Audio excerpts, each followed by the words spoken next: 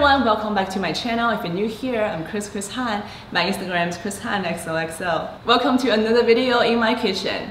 Today, as you can see, I have this coffee machine right behind me. I'm gonna show you how I use this machine from Casabrews to make coffee at home. Ever since I tried this Casabrews coffee machine, I've been really enjoying my coffee. From espresso to cappuccino to latte. So in this video, I'm gonna show you how I use this machine to make all the coffee. Without further ado, let's get started.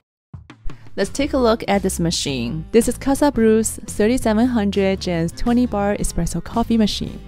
This model is a professional stainless steel espresso machine with full features, including pressure pump, single and double cup brewing, steam milk frother, and hot water. It's comparable to a lot of luxury machines, but it's a lot cheaper. To make coffee, just fill the water tank first. The water tank is 47 ounce, it's pretty sizable. Turn a rotary switch on to make hot water or warm the cup. The machine comes with a stainless steel portafilter and two cup filters, one for single shot and one for double shot. Insert the cup filter into the portafilter before use. And then for the cup filter with your coffee, I usually fill my coffee all the way to the max line for the best flavor.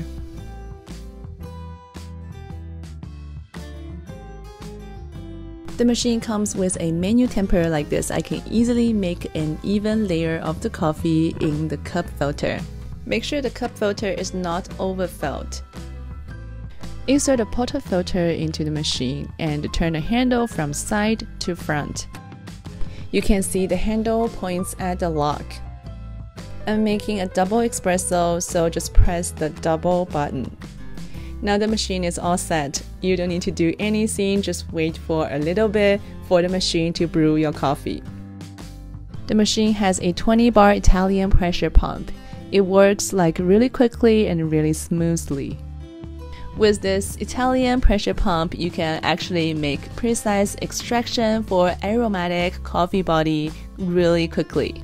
You can check the pressure at the pressure gauge. It's very easy to control and you can adjust it for the best pressure. Now my espresso is ready. It smells really amazing. It smells aromatic and very rich. My whole kitchen is filled with this beautiful smell. Now let's make another coffee. Let's make a latte. And the first step is very easy. It's the same. Just fill the portafilter with your coffee all the way to the max line. And again, use a tamper to make it even in the cup filter. When you install the portafilter, just make sure there is no spill of coffee outside of it.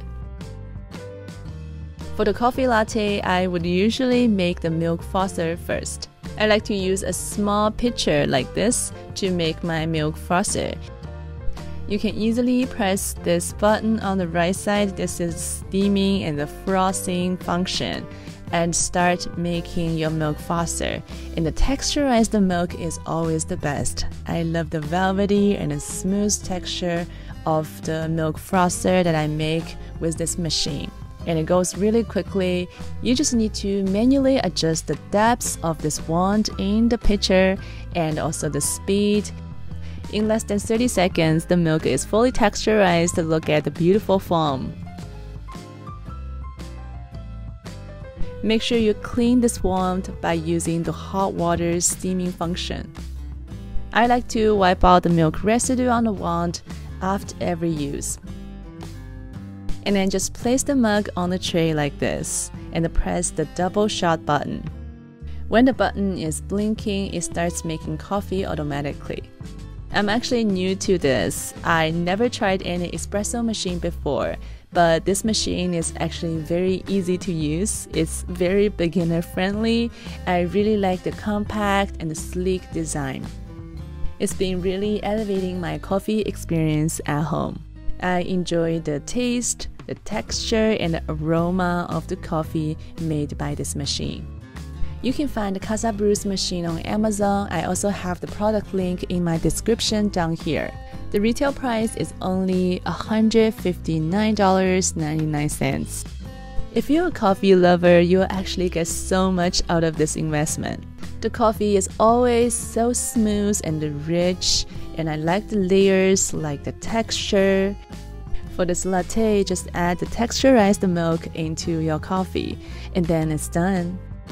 The milk frother is just like a microfoam. It's so silky and smooth. Okay, so this is how I make my coffee with this Casabrews coffee machine. And my family and I are extremely happy with this machine. We've been using this machine actually a lot. You can go creative with your coffee recipes, adding different flavors, different ratios of milk and coffee. I hope this video can be of some help for your coffee experience at home. Again, the coffee machine is linked in my description. You can also find it on Amazon. And thank you so much for watching. I'll see you in the next one. Bye!